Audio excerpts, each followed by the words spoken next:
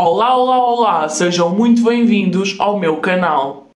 Bem, pessoal, venho-vos falar de Fernanda Antunes, mãe de Sara Carreira. Uh, como sabem, uh, ontem houve um lançamento sobre uma música de Sara Carreira. Uh, podem ver tudo aqui nos vídeos anteriores.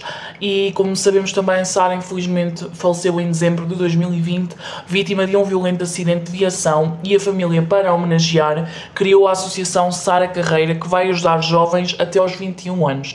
Quem quiser saber tudo sobre o acidente em que Sara Carreira ia, tem vídeos de há uns meses atrás, há 5 meses atrás, em relação ao assunto. Tem também vídeos de há umas semanas atrás em relação à Associação Sara Carreira.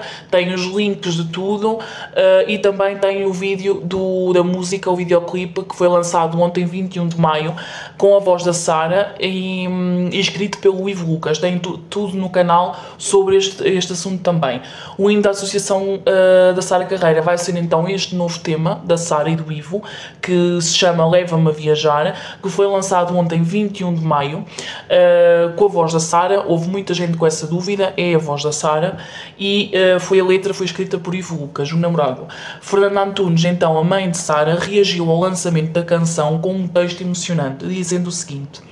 Leva-me a viajar. Respeitei a tua vontade, meu amor, meu anjinho. Estou aqui por ti para sempre. Que a tua bondade toque a alma de todos. Obrigada por dividirem e multiplicarem o amor.